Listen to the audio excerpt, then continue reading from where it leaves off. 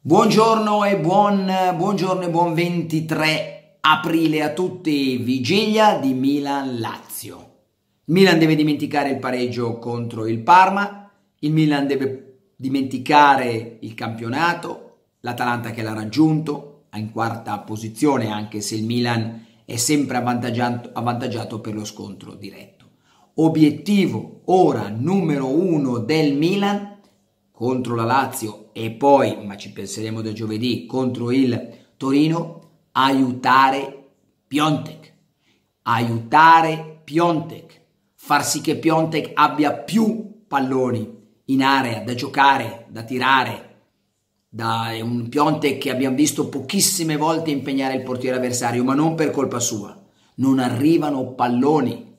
Piontek è là, isolato, ho letto delle statistiche proprio sulla app di One Football, ho letto delle statistiche sulla app di One Football che parlano di un Piontek eh, spesso isolato, domenica si è dovuto inventare una girata in mezzo a tre avversari.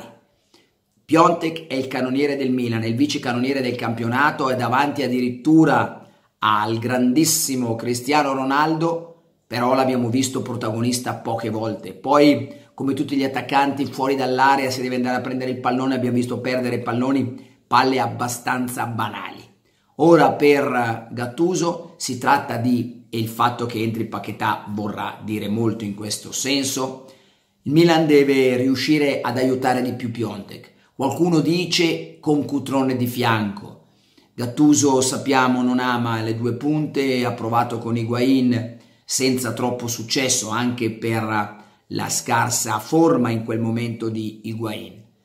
Però il Milan che tira pochissimo in porta, che segna pochissimo in queste ultime partite, perché abbiamo, passato, abbiamo parlato sempre di un Milan che ha vinto una partita nelle ultime sei, ma realizzando eh, praticamente pochissimi gol, forse mai andato, in, anzi senza il forse non è mai andato in doppia cifra, 1 a 0, 1 a 1, addirittura senza realizzare gol, come è successo contro e forse solamente ecco, con l'Inter è riuscito ad andare in doppia cifra, ma in una sconfitta. Poi da quella partita sempre massimo un gol, addirittura zero.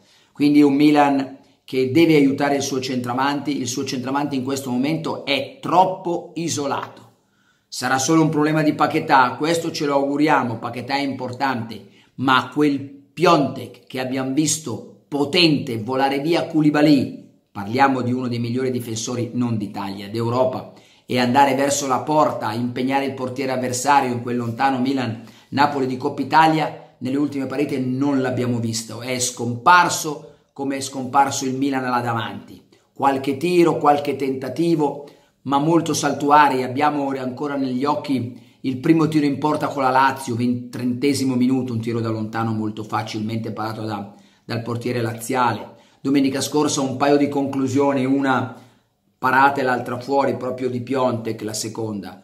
Quindi in questo momento Gattuso deve lavorare per mettere Piontek in condizioni di fare male e quando la palla arriva a lui, poi Piontek fa male. Questo quindi è il punto. Serve più coraggio? Non so. Serve Cutrone? Non so. Serve soprattutto però aiutare Piontek ad andare vicino alla porta ha sbagliato forse solo un gol banale da quando gioca al Milan sotto porta, se no se li ha inventati e caso vuole che quando poi Piontek realizza il Milan, eh, il Milan acquista fiducia, porta a casa punti, però in questo momento eh, Piontek non riesce a dare aiuto alla squadra perché la squadra non riesce ad aiutare lui. Quindi è fondamentale che Gattuso, che oggi affinerà la formazione, studierà le ultime mosse prima della partita di domani, trovi il modo di aiutare Piontek. Il Milan, le vittorie del Milan passano per Piontek, nessun altro segna gol se non in maniera molto saltuaria